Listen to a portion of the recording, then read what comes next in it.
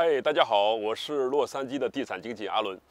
今年夏天呢，洛杉矶啊遭遇了十年罕见的高温天气，已经连续十多天白天的温度破百，甚至最高达到了一百零五度。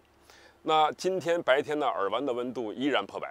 不过呢，到了傍晚的时候呢，尔湾的市民都来到了呃冰球馆。大家都知道，尔湾是一个非常吸引华人的城市。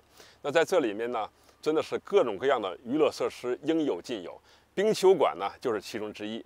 无论外面再怎么炎热，到了里面和冬天是一样的。好了，让我们感受一下里面的凉爽。这就是尔湾著名的冰球馆。那在二零二八年的时候，洛杉矶会举办第三次奥运会。到那个时候的话呢，这个冰球馆呢。会是奥运会的场馆之一，这里面来玩的华人也非常多。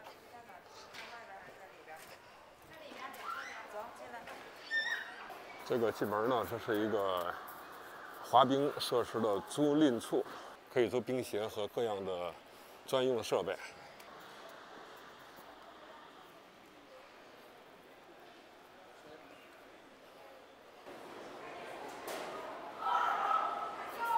这边是餐饮区，滑冰滑累了，可以在这买一些快餐、啊冷饮、咖啡，还有卖爆米花的。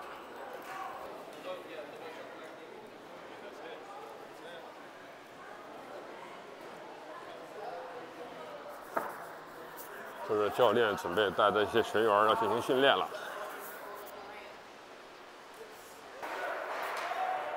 这里面共有四个馆，那这个馆呢，目前在这进行训练。这里有专业的教练。外面烈日炎炎，里面却是非常非常的凉爽，非常舒适，和冬天一样。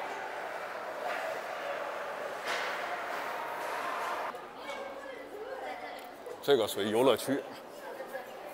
那在这面呢，就属于纯玩。不属于任何专业级别的训练，可以在这儿滑短刀。只能看到吧，这个尔湾的华人的孩子非常的多。在尔湾呢，就华人和老美完全是融为一体的，是一个大的家庭。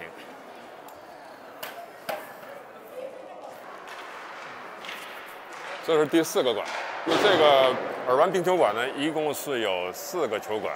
是在尔湾大公园，那这个馆呢，第四个馆呢，目前目前马上就要进行一场比赛了，所以这帮孩子们在已经预备了。